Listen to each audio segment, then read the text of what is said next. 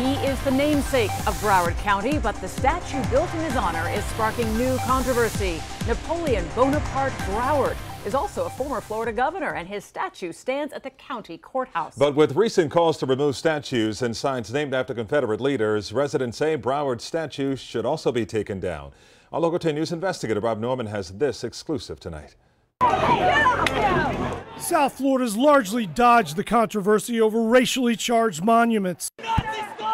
But now this statue in the Broward County Courthouse of the county's namesake and former Florida governor, Napoleon Bonaparte Broward, is being targeted for removal. This is a monument not of fairness, but it's a monument of divisiveness. Attorney Harold Pryor, president of the TJ Reddick Black Bar Association, is working to move the statue out, and he already has an ally in Broward Public Defender Howard Finkelstein.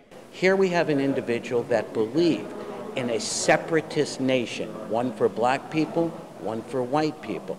Finkelstein is referring to a Broward speech in which he said that blacks, quote, should be given a country of their own for their happiness and good saying such a move would, quote, keep sweet the lives of white people. I am a fifth generation Floridian. Um, I don't think my ancestors deserve to go to another country or to another territory. For African Americans to walk by a statue of a man that didn't think that they should live in this country on their way to a criminal courtroom is the wrong message indeed.